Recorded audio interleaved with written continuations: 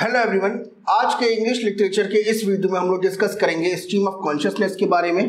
Stream of consciousness जो है आपके एग्ज़ाम के पॉइंट ऑफ़ व्यू से बहुत इंपॉर्टेंट है तो इस वीडियो को आप एंड तक देखिएगा। और इसके अलावा अगर अभी तक आपने हमारे B S I academy English literature के चैनल को सब्सक्राइब नहीं किया है subscribe this channel like this video and share this video तो ये वीडियो ऐसे कैंडिडेट्स जो कि UGC NET exam SET exam SLET exam GATE exam TGT PGT जिसमें K B S D S S B E M R S N B S या फिर state level के English teacher या फिर assistant professor या फिर अपने B A और एम ए एग्ज़ाम्स की प्रिपरेशन कर रहे हैं तो उन सभी कैंडिडेट्स के लिए ये वीडियो बहुत हेल्पफुल होने जा रहा है। तो इस वीडियो को आप एंड तक देखिएगा। और इस वीडियो में हम लोग जिन टॉपिक्स पर, जिन क्वेश्चंस पर डिस्कस करेंगे, वो है what is stream of consciousness what is the origin of stream of consciousness what are the important characteristic of stream of consciousness what is the difference between the stream of consciousness and the interior monologue or what are the examples of the stream of consciousness तो इन questions पर हम लोग जो है आज के इस video में जो है डिस्कशन करेंगे तो सबसे पहले what is stream of consciousness stream of consciousness क्या होती है तो अगर हम लोग इसकी डेफिनेशन या मीनिंग की बात करें तो स्ट्रीम ऑफ़ कॉन्शियसनेस जो है, एक तरह का मेथड है नरेशन का, जिसमें जो भी हमारे माइंड में या हमारे माइंड का मतलब है कैरेक्टर के माइंड में नॉवेल्स के अंदर फिक्शन के अंदर जो भी थॉट्स आते हैं, जब नॉवलिस्ट उसको उतार देता है अपनी राइटिंग के अंदर, उसी को हम लोग जो है स्ट्रीम ऑफ़ कॉन्शियसनेस कहते हैं। तो देखिए स्ट्रीम ऑफ़ कॉन्शियसनेस एक तरह का हमारा फिक्शन और नॉवल का कैटेगरी भी है। तो यहाँ पर अगर बात की जाए तो ये जो स्ट्रीम ऑफ़ कॉन्शियसनेस है, ये नरेशन का मैथड है। यानी एक तरह से जो नॉवलिस्ट है जो अपनी राइटिंग का जो स्टाइल है उसको हम लोग जो है स्ट्रीम ऑफ़ कॉन्शियसनेस कहते हैं।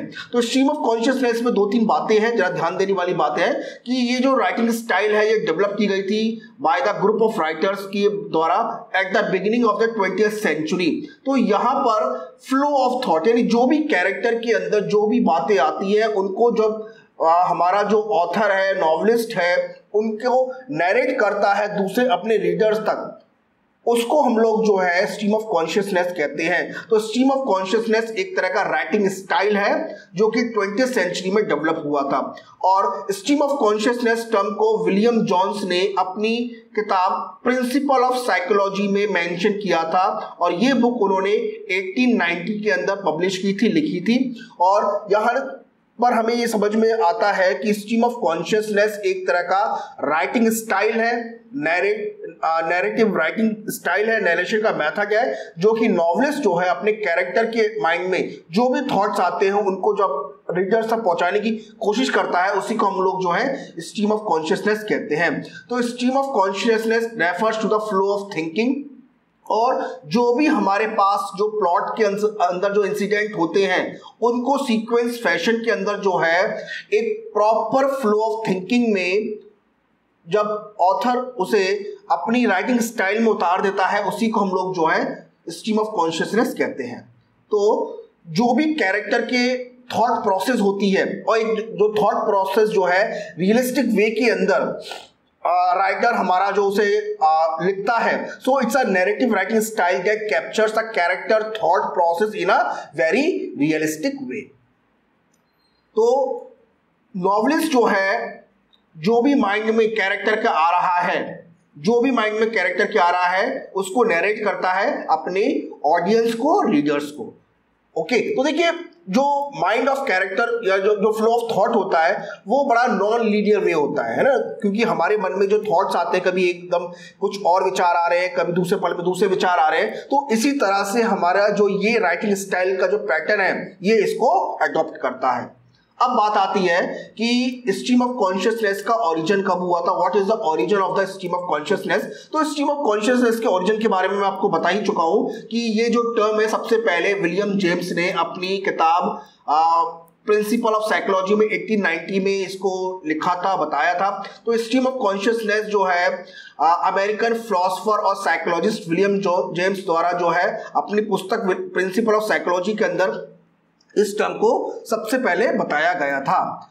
अब, जैसा कि मैंने बताया कि जब हम लोग जो है मतलब हम लोग का मतलब जब राइटर नॉवलिस्ट एक प्रॉपर फ्लो ऑफ़ थॉट और अवेयरनेस के द्वारा जो भी कैरेक्टर के माइंड में जो भी थॉट्स आ रहे हैं, उसको डिस्क्राइब कर देता है इन अ स्ट्रेट चेन उसी को हम लोग जो है स्ट्रीम ऑफ़ कॉन्शियसनेस कहते हैं। अब बात आती है कि what are the important characteristic of stream of consciousness कौन से ऐसे फीचर हैं?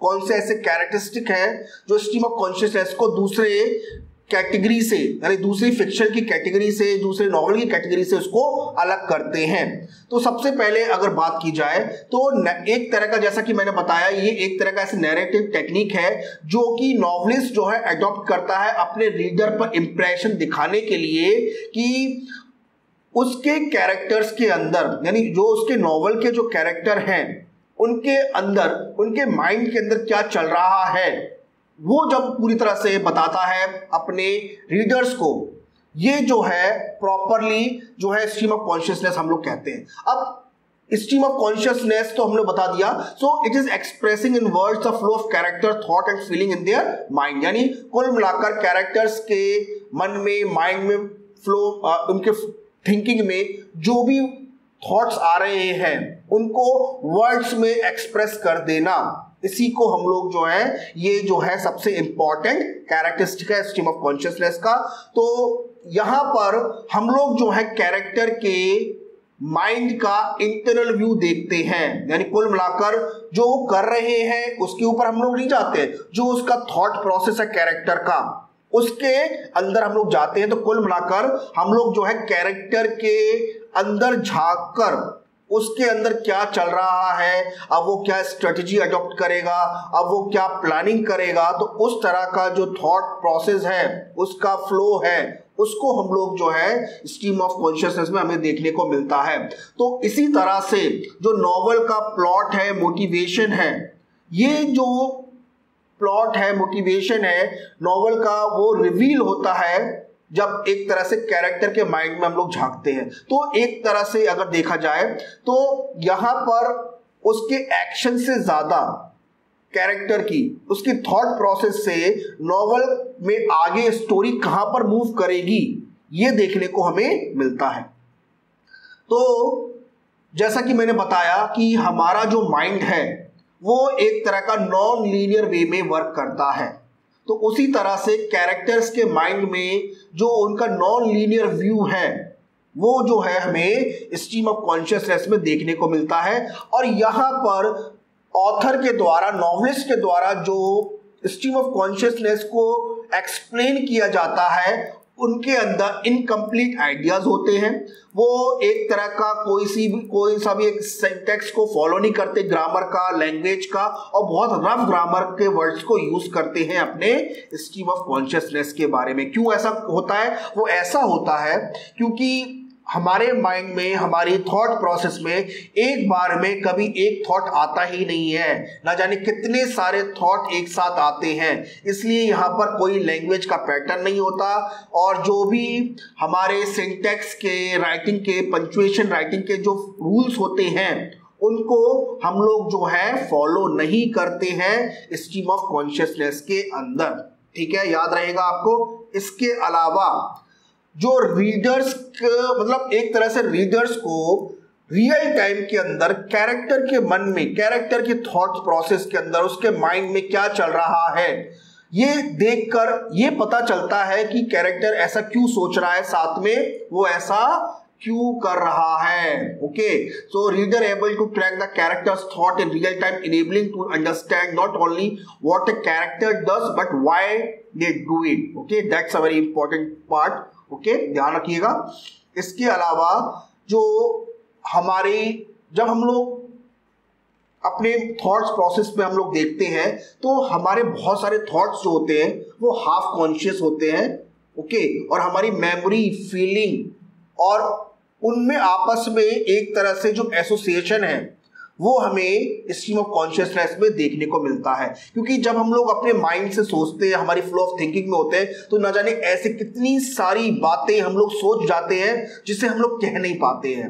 है ना? तो वही मेमोरी ऑफ़ फीलिंग को थॉट्स को स्ट्रीम ऑफ़ कॉन्शियसनेस में देखने को मिलती है। Then also the description of the continuous flow of unspoken thought of perception of the character यानी बहुत सारे ऐसे भी वर्ड्स होते हैं, बहुत से ऐसे थॉट्स होते हैं परसेप्शन होते हैं, जिन्हें कहा नहीं जाता, जिन्हें महसूस किया जाता है कैरेक्टर के फ्लो ऑफ़ थिंकिंग के अंदर। तो यही डिस्क्रिप्शन जो है स्ट्रीम ऑफ़ कॉन्शियसनेस में देखने को मिलता है। इसके अलावा, वो उसका जो पैटर्न है जब the flow of character thought often appear without a coherent structure और कोहेजन यानी माइंड में तो भाई कुछ भी आ सकता है। कुछ भी थॉट प्रोसेस आ सकती है तो उसका कोई स्ट्रक्चर नहीं होता, कोई कोहेजन नहीं होता तो उसी को हमें स्ट्रीम ऑफ़ कॉन्शियसनेस में देखने को ये चीज़ मिलती है। और जैसा कि मैंने बताया स्ट्रीम ऑफ़ कॉन्शियसनेस जो नॉवल है, वो बहुत ही इनफॉर्मल वे में राइटिंग स्टाइल को अडॉप्ट करती है और बहुत ही कॉलिकल लैंग्वेज को फॉलो करती है। Then stream of consciousness often present the rapid shift in the character's thought process, such as the memories, feeling etc by the flashback and foreshadowing. तो स्ट्रीम ऑफ़ कॉन्शियसनेस में जैसा कि मैंने बताया आपको कि कैरेक्टर के थॉट प्रोसेस के अंदर जो भी चल रहा है, उसको हमें देखने को मिलता है। साथ में मेमोरी फीलिंग अब बहुत सारी ऐसी बातें होती हैं जो आज से दस साल पहले या पाँच साल पहले घटित हुई हैं, जो आपको बहुत अच्छी लगी है। तो आप उसको बार बार सोचना पसंद करते हैं। तो आप अपनी लाइफ के अंदर क्या जा रहे हैं? फ्लैशबैक में जा रहे हैं। तो इसी तरह से वो फ्लैशबैक और फॉर शेडोइंग टेक्निक जो कि हमारी नॉवेल्स के अंदर, हमारे ऑथर नॉवलिस्ट अडॉप्ट करते हैं तो वो हमें स्ट्रीम ऑफ़ कॉन्शियसनेस नॉवल के अंदर देखने को मिलती है। साथ में good memory good feelings bad memory bad feelings जो है, ये भी देखने को मिलता है। और स्ट्रीम ऑफ़ कॉन्शियसनेस जो है, कुल मिलाकर ओवरऑल जो है, हमारे नॉवेल्स की प्लॉट का डेवलपमेंट जो है, हमारी इसी थॉट प्रोसेस से होता है। तो स्ट्रीम ऑफ़ कॉन्शियसनेस एक तरह की टेक्निक है और यहाँ पर इसी तरह से ये टेक्निक इस तरह के नॉवेल्स को दूसरे नॉवल से एकदम अलग करती है।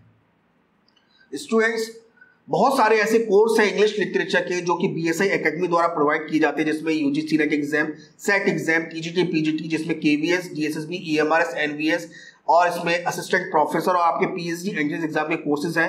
अगर इन कोर्सेज के अंदर आपको इनरोल करना है तो आप हमें इंक्वायरी कर सकते हैं हमारे व्हाट्सएप नंबर पर। हमारा व्हाट्सएप नंबर जो है आपके स्क्रीन पर अवेलेबल है। इसके अलावा अगर अभी तक आपने B S I academy English literature के चैनल को सब्सक्राइब नहीं किया है subscribe this channel like this video and please share this video तो नेक्स्ट हमारा आता है कि स्ट्रीम ऑफ़ कॉन्शियसनेस में और इंटीरियर मोनोलॉग में क्या डिफरेंस है? What are the differences between the stream of consciousness and the interior monologue तो स्ट्रीम ऑफ़ कॉन्शियसनेस जैसा कि मैंने आपको बताया कि कैरेक्टर के माइंड के अंदर उसकी फ्लो उसके पैटर्न को फ्लो ऑफ़ कैरेक्टर्स को flow of flow of thoughts को समझने में हमारी मदद करती है। और उसमें जो उसके थॉट्स होते हैं, बहुत ही इनरेशनल होते हैं। फीलिंग्स होती है मेमोरीज होती है और रिएक्शन होता है। ये हमें स्ट्रीम ऑफ़ कॉन्शियसनेस में देखा। बट इसके विपरीत इंटीरियर मोनोलॉग के अंदर जो भी थॉट मेमोरी कैरेक्टर के मन में चल रही है, उनको बहुत ही रैशनल वे में और बहुत ही ऑर्डरली वे में कंपाइल करते हुए जो भी कैरेक्टर की जर्नी रही है थ्रू आउट उस पर्टिकुलर मेमोरी को लेकर, उसकी लाइफ के अंदर उनको, उन इवेंट्स को ऑर्डरली हम लोग एक के बाद, एक के बाद जो है, कुल मिलाकर जोड़ते जाते हैं इंटीरियर मोनोलॉग में। तो इंटीरियर मोनोलॉग भी एक तरह की थॉट प्रोसेस है फ्लो ऑफ़ थिंकिंग है बट ये एक तरह की रैशनल फ्लो ऑफ़ थिंकिंग है, और यहाँ पर जो इवेंट हुए हैं किसी भी कैरेक्टर के साथ, उनको बहुत ही इवेंचुअली एक के बाद एक जो है, उनको पैटर्न को वो ध्यान में रखते हुए कुल मिलाकर उन्हें यूज़ करता तो जब भी हम लोग किसी चीज़ के बारे में एनालिसिस करते हैं, तब हमें जो है इंटीरियर मोनोलॉग में देखने को मिलता है। तो स्ट्रीम ऑफ़ कॉन्शियसनेस किसी भी तरह की लैंग्वेज के सिंटेक्स वोकेबलरी पंचुएशन जो है, उसको फॉलो नहीं करती है मेंटेन नहीं करती है। और स्ट्रीम ऑफ़ कॉन्शियसनेस में अधिकतर हमें जो नरेशन प्रेजेंट किया जाता है नॉवलिस्ट के द्वारा, वो थर्ड पर्सन के द्वारा प्रेजेंट किया जाता है। बट इंटीरियर मोनोलॉग में जितना भी कंप्लीट नरेशन है, वो फ़र्स्ट पर्सन के द्वारा मतलब फ़र्स्ट पर्सन यानी पर्सन खुद कैरेक्टर अपने बारे में बता रहा है, खुद स्टोरी को डेवलप करते हुए जा रहा है और इंटीरियर मोनोलॉग जो है, किसी भी मतलब सारे लैंग्वेज के सेंटेक्स के वोकोबलरी के पंचुएशन के, जो भी रूल्स रेगुलेशंस हैं, उनको फॉलो करता है हमारा इंटीरियर मोनोलॉग अब कुछ एग्जांपल्स हम लोग देख लेते हैं स्ट्रीम ऑफ़ कॉन्शियसनेस के। What are the important examples of stream of consciousness ये भी देख लेते हैं। तो सबसे पहले आता है यूलिसिस जिसे 1922 में लिखा था जेम्स जॉयस ने। बहुत फ़ेमस नॉवल है। और अभी भी ये यूके के अंदर अभी भी सबसे बेस्ट नॉवेल्स में आता है। देन मॉली जिसे 1951 में लिखा था सैमुअल बैकेट ने। Then notes for notes from the underground जिसे 1864 में लिखा था बाय फॉइडर डॉस्टोस्की ने, जो कि बहुत रशियन के बहुत फ़ेमस नॉवलिस्ट रहे हैं और जिन्होंने बहुत, इनके जो नॉवल लिखे गए हैं, वो आज भी बहुत फ़ेमस है, बहुत ज़्यादा लोग जो है नॉवल्स जो है रशिया के अगर कोई पढ़ते हैं तो हम लोग जो है, इन्हीं हमारे जो नॉवलिस्ट है फॉइडर डॉस्टोस्की उनको फॉलो करते हैं। देन मिसिस डैलोवे जो कि 1925 में लिखा था बाय वर्जीनिया वुल्फ ने, जो भी एक against system of consciousness novel में कैटेगरी में आता है एंड एज एज आई ले डाइंग जो कि 1930 में लिखा गया था बाय विलियम फकनर द्वारा ओके तो these are some of the important novelist and their their novels also तो ये जो है स्ट्रीम ऑफ़ कॉन्शियसनेस जो है, हमें यहाँ पे देखने को मिलता है। और आई होप आपको ये वीडियो पसंद आया होगा। अगर आपको वीडियो पसंद आया तो लाइक करना मत भूलिएगा। और अगर अभी तक आपने बी एस आई के इंग्लिश लिटरेचर के चैनल को सब्सक्राइब नहीं किया है subscribe this channel like this video and share this video और हमारे जो यूजीसी नेट के जो कोर्सेज है, उसमें इनरोल के लिए आप हमारे व्हाट्सएप पर कांटेक्ट कर सकते हैं। हमारा व्हाट्सएप नंबर जो है, आपके स्क्रीन पर अवेलेबल है। तो मिलते हैं आपसे एक और इंपॉर्टेंट नेक्स्ट वीडियो में। Thank you